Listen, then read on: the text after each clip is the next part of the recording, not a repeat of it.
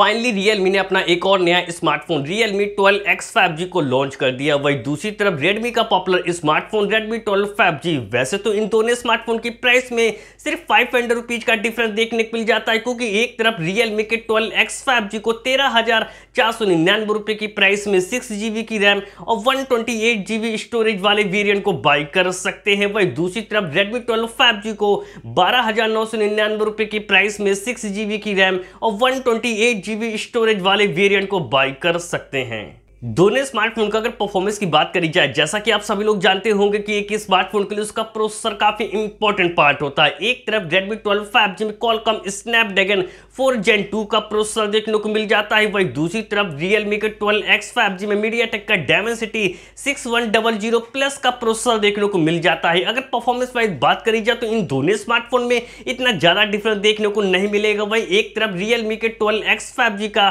जो अंत तो उसको निकल के आता है four lakhs forty one thousand निकल के आता है। वही दूसरी तरफ़ Redmi 12 5G का जो अंत तो उसको निकल के आता है। Four lakhs forty seven thousand निकल के आता है। अगर आप लोग भी इन दोनों में से किसी स्मार्टफ़ोन को, खासकर गेमिंग के लिए लेने के लिए सोच रहे हो तो इन दोनों स्मार्टफ़ोन के जी स्कोर यानी गेमिंग स्कोर को जानना बहुत ज़्यादा ज़रूरी है। जब इन दोनों स्मार्टफ़ोन में थर्टी मिनट तक गेम को प्ले किया गया तो एक तरफ़ रेडमी ट्वेल्व फाइव का जो गेमिंग स्कोर निकल के आता है, वो थ्री निकल के आता है। वही दूसरी तरफ़ रेडमी ट्वेल्व एक्स का जो गेमिंग स्कोर निकल के आता है, वो टू निकल के आता है। स्मार्टफ़ोन का अगर डिस्प्ले सेगमेंट की बात करी जाए तो एक तरफ़ Redmi 12 5G में 6.79 इंच की बिग साइज़ की full H D plus punch hole वाली आईपीएस डिस्प्ले देखने को मिल जाती है। पर डिस्प्ले की अच्छी स्मूथनेस के लिए सिर्फ़ 90 हर्ट रिफ्रेश रेट का सपोर्ट देखने को मिल जाता है। वही दूसरी तरफ़ Realme के 12X 5G में 6.72 इंच की बिग साइज़ की full H D plus punch hole वाली आईपीएस डिस्प्ले देखने को मिल जाती है और डिस्प्ले की अच्छी स्मूथनेस के लिए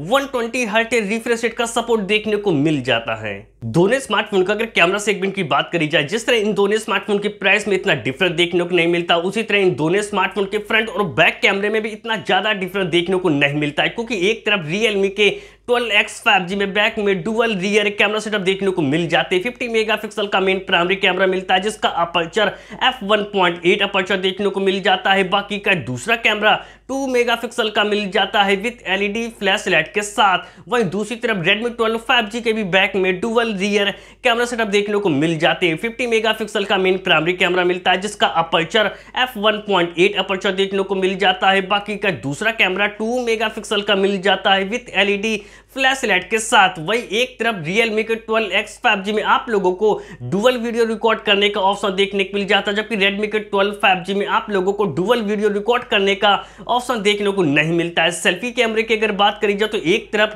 Realme के 12X 5G में 8 मेगापिक्सल का सेल्फी कैमरा देखने को मिल जाता है, जिसका अपर्चर f2.0 अपर्चर देखने को मिल जाता है। वही दूसरी तरफ़ Redmi 12 5G में भी 8 मेगापिक्सल का सेल्फी कैमरा देखने को मिल जाता है, जिसका अपर्चर f2.0 अपर्चर देखने को मिल जाता है। दोनों स्मार्टफ़ोन का अगर बैटरी सेगमेंट की बात करी जाए तो बैटरी तो दोनों स्मार्टफ़ोन में एक जैसी देखने को मिल जाती है, पर चार्जिंग स्पीड में काफ़ी ज़्यादा डिफरेंस देखने को मिल जाता है, क्योंकि एक तरफ़ रियलमी की 12x 5G में 5000 थाउज़ेंड की बैटरी देखने को मिल जाती है। 45 वाट के सुपर वोक चार्जिंग के साथ यूएसबी टैप सी पोर्ट का सपोर्ट देखने को मिल जाता है। वही दूसरी तरफ़ Redmi 12 5G में भी 5000 mAh की बैटरी देखने को मिल जाती है। सिर्फ़ 18 वाट के फास्ट चार्जिंग के साथ यूएसबी टैप सी पोर्ट का सपोर्ट देखने को मिल जाता है। सिक्योरिटी फीचर के लिए दोनों स्मार्टफ़ोन में साइड माउंटेड फिंगरप्रिंट सेंसर देखने को मिल जाते हैं। तो अब बात करी जाए कि दोनों में से कौन सा स्मार्टफ़ोन आप लोगों के लिए बेस्ट है? अगर आप लोग भी इन दोनों में से किसी स्मार्टफ़ोन को लेने का मन बना रहे हो कंफ्यूज हो कि कौन सा स्मार्टफ़ोन लेना सही रहेगा तो मैं आप लोगों को रिकमेंड करता हूँ कि आप लोग फाइव ज़्यादा खर्च करके